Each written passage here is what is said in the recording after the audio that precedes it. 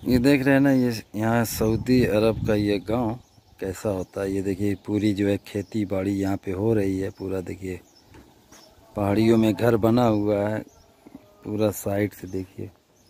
काफ़ी अच्छे अच्छे बंगले बने हुए हैं, माशाल्लाह। और और ये मेरा जो है कस्टमर ये देखिए, फैसल शरीफ। बहुत बेहतरीन आदमी है। वालेकुम असलम कैफ वाले मुदीर? भी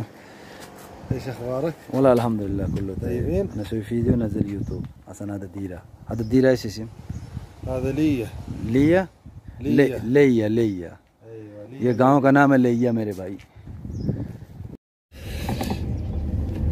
देख रहे हैं मेरे दोस्तों यहाँ का गांव कैसा होता है यहाँ का रास्ता और ये देखिए पूरा बैर का पेड़ है देख रहे हैं ना काफ़ी जो है और ये पूरा नाला है यहाँ से पूरा पानी बहता है बारिश में काफ़ी पानी यहाँ पे जमा हो जाता है और यहाँ पे देखिए सऊदियों का बंगला है।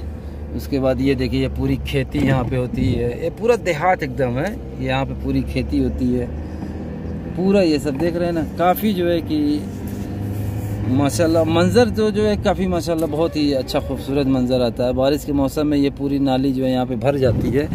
नाली जो देख रहे हैं ना, पूरी देखिए, पूरा जो है यहाँ का गाँव।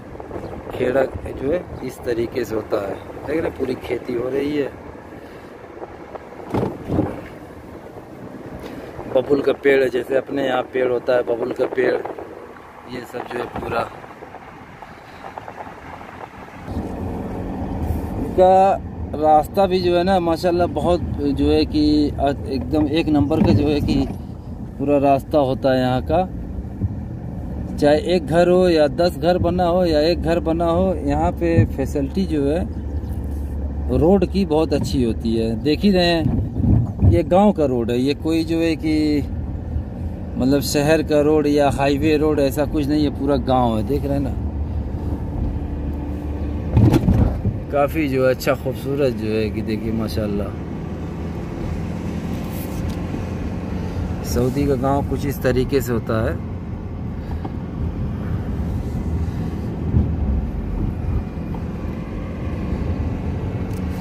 तो देख रहे हैं ना देहात एरिया।